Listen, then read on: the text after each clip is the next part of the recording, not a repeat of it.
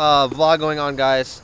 Yes, my tooth broke off, my plastic one, so that sucks. All right, guys. So we're gonna be doing a prank um, based on the movie It. It's a clown movie.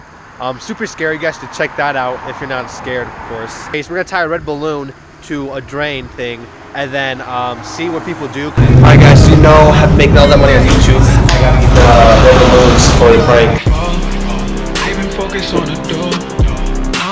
Really give a damn about what they talking about. The ranked up, man. All they girl are doing low. Winning, we just kept it. Okay, guys. So we just legitimately took the elevator and those Dude, they people- gave us a Dude, cigarette. those people were wasted as fuck. And they gave us a cigarette. We didn't even ask. They just gave us a fuck freaking cigarette. I can't cuss. It's YouTube. I forgot.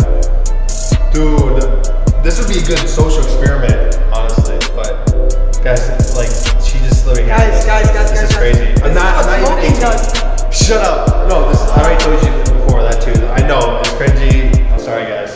But I don't smoke, guys. I am not 18. No, I we don't like don't smoke. We don't I don't smoke. Don't smoke, guys. Guys, this guy literally just stole something, and everyone, everyone, I'm telling everyone's chasing his ass right now. This guy just stole like money, and everyone is chasing him. Dude, everyone's chasing him. Uh, can I get the two topping pizza? Uh, Jake Paul.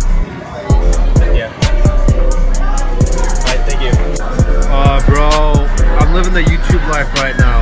Yes. Lace pizza all day, guys.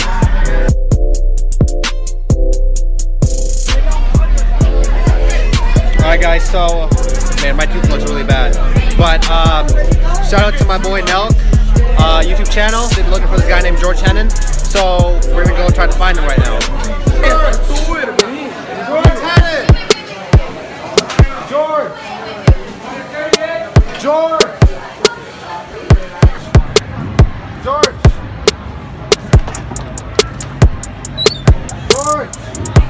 George! George Hennen!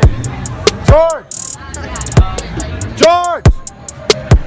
Have you guys seen George Hannon? What are you talking about, bro? George Hannon. have you seen Don't it? ask No. no goofy shit like that. Alright, sorry man. Thank you. Hey guys, hope you enjoyed the video guys.